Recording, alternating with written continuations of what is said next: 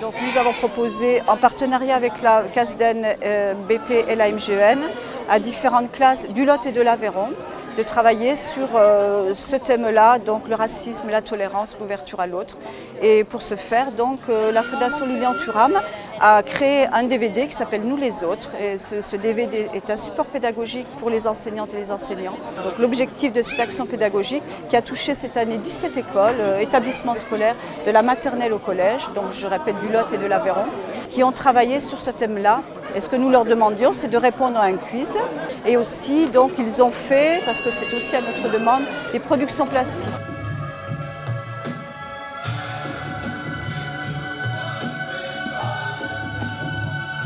Et cet outil pédagogique euh, a pour euh, idéal apporter euh, des informations qui permettent de déconstruire la notion de racisme, la notion de hiérarchie, la notion du sexisme ou de l'homophobie et expliquer que toutes ces problématiques sont avant tout liées à notre propre culture, liées à une histoire et que l'égalité est quelque chose d'extrêmement récent. Et donc comprendre tout ça euh, permet justement d'être plus attentif à ses propres préjugés.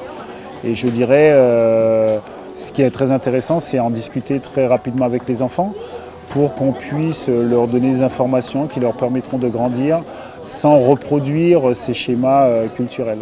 La première des choses, c'est pouvoir discuter de tout ça, je crois, et expliquer aux enfants que l'égalité se gagne, elle ne se donne pas et que si nous avons la chance de vivre dans une société dans laquelle nous vivons, c'est qu'il y a eu des hommes, des femmes qui ont dénoncé les inégalités. Je crois qu'il euh, faut faire très attention euh, lorsqu'on dit que nous vivons dans une société de plus en plus intolérante. Moi, je ne pense pas. Crois que nous vivons dans une société qui n'a jamais été aussi tolérante dans le passé. Le seul problème, c'est qu'avant le racisme, c'était tout à fait acceptable.